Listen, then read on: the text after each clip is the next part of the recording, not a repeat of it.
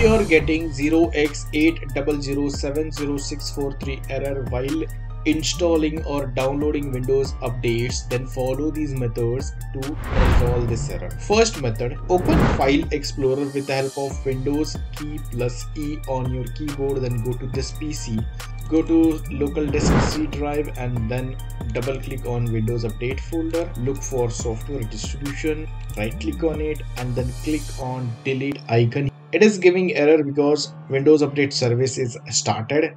Go to services.msc click on any of the service and then press W on your keyboard. It will take you to the services starting with W and look for Windows Update Service. Click on Windows Update Service and click on stop. Go to file explorer and then click on try again.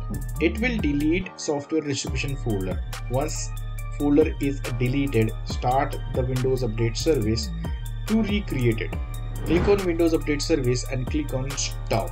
Go to File Explorer and then click on Try Again.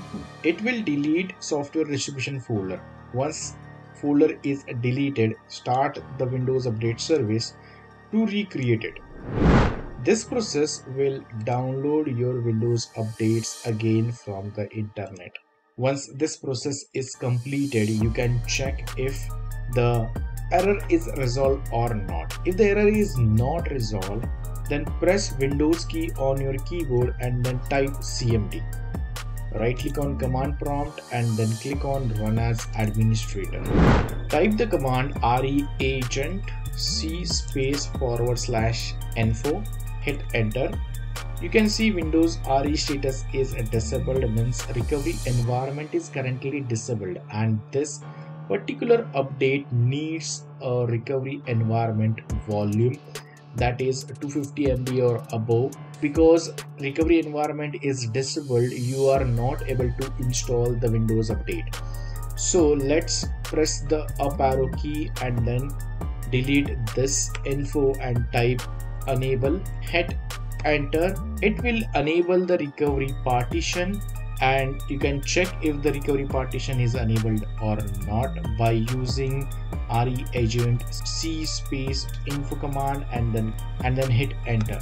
Now you can see windows re status is enabled means windows recovery partition is enabled and try to download the updates again. It should resolve your issue so that's it for this video. If you like this video please hit the like button hit the subscribe and press the bell icon to enable notifications for future videos. Thanks and bye